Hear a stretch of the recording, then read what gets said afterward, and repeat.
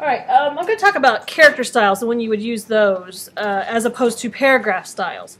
Paragraph styles is something we always start out with. Think of paragraph styles as majority rules. If the majority of your text looks a certain way, then you'll want to create what is called a paragraph style, and we've covered that in previous demos. A character style, just for review, is um, when you're in a paragraph, I'm going to go to type, show hidden characters. They're already on. I just had to hit the W key so I could have print preview. If you guys don't know how to get that print preview in a type box, that's in the toolbar. Widen that, and it's in the, um, there's print view and normal view. This is print view, and that's normal view. If you hit W, it'll toggle between the two. Um, I usually work with my hidden characters on so I can kind of see if there's anything weird going on. This definitely tells me where paragraph returns are as well. And I need to know where my paragraphs are. Now let me find something that might be appropriate for a character style. Let's say in this area where it says directions, eight servings. Let's say eight servings, we really wanted that to be de, uh, not as accentuated, not as important. Now, eight servings is in the same paragraph as directions. When we can say, hey, one of these things is not going to look like the other thing, then we're going to use the character style. Again, that goes back to that Cookie Monster song. So if I wanted eight servings to be non-bold or not Arial black, just Arial regular, and de-accentuate that. This now, if I bring up my uh, paragraph styles, and I can go to Essentials to get all of this. If I go to Essentials and Typography, it brings up a whole different batch of uh, panels over here. I'm going to bring up paragraph styles. I'll rip them off. And you'll see that in that paragraph style, it has a plus sign next to it. That tells me that I have done additional formatting in that paragraph and I did not do it through editing a paragraph style. Now that can be a problem. But what I'm going to do is I'm going to create a character style now. So let me bring up character styles. I'll put them next to one another. You have a question? Yeah. So the character style was in a paragraph style? Character styles should always be in a paragraph style. Always work with paragraph styles first. Get those to work. And then if you have certain little tidbits in that same paragraph that are not like the other bits of type, then we might do a character style.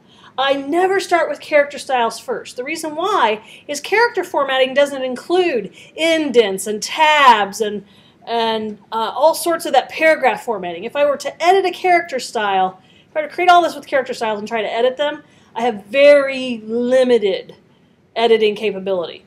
It only edits the font color, the point size, the typeface, if it's bold, very, very limited. Okay, so do not start your document with building character styles. This is for the little bits of type that are different than the other bits of type within the same paragraph.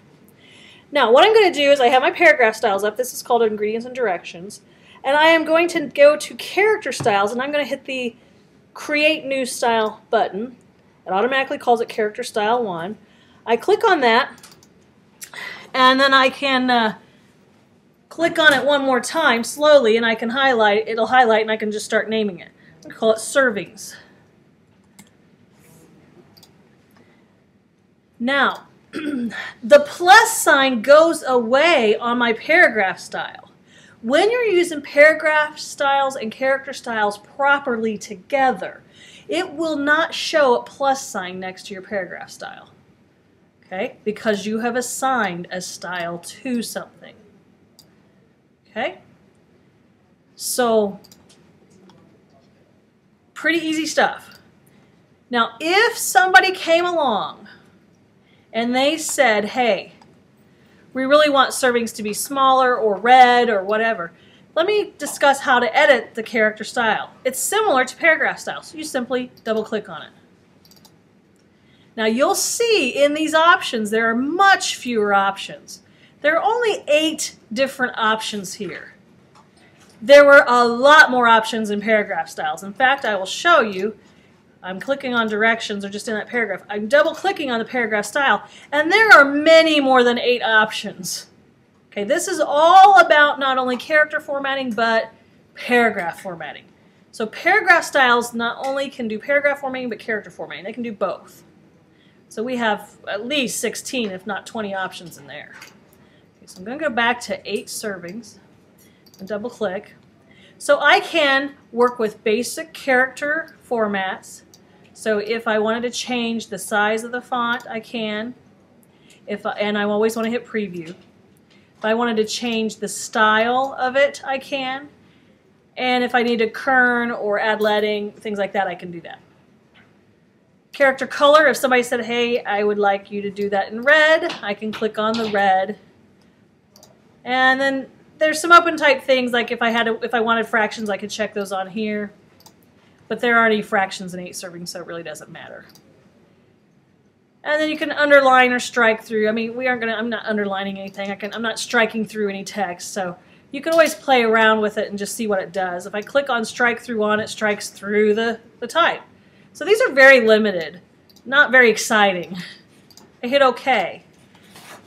Now, I am going to go to the other areas of the document and I can, now this we will have to click and drag. I do click and drag over the type that I have to, I can't triple click because if I triple click it'll grab the whole line, the whole paragraph there.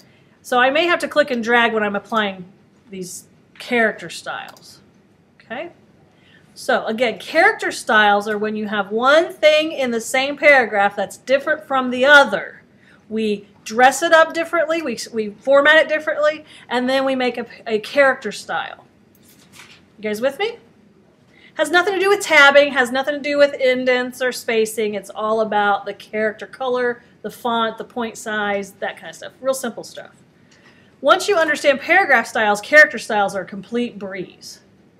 You guys have any questions about character styles? That's the easier part of it, isn't it?